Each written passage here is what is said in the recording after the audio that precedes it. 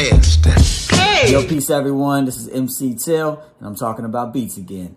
This album right here is Runaway Slave by Showbiz and AG. And then over here, we got the dirty version by AG. So I want to talk a little bit about Showbiz.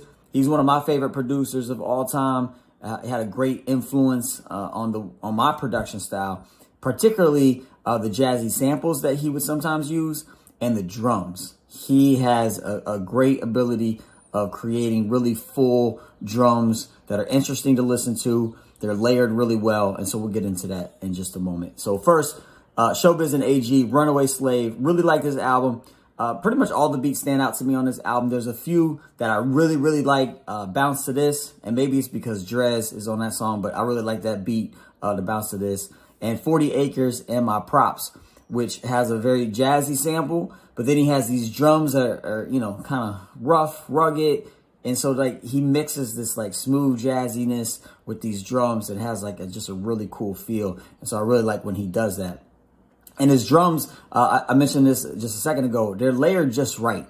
So his drums, even though they, they might have an interesting, you know, pattern to them, they're never too busy. There's not too much going on. He leaves room for the MC to shine and the beats just, just feel good and they fit right.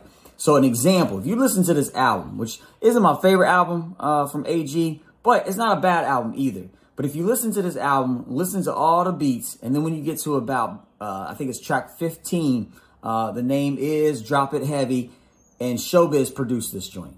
When you get to this beat, you'll hear a difference.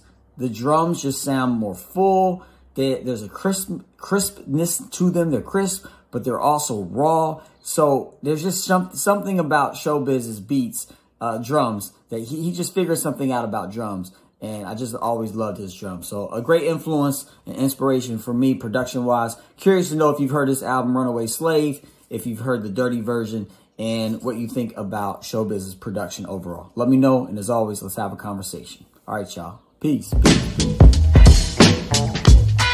Peace. Hey!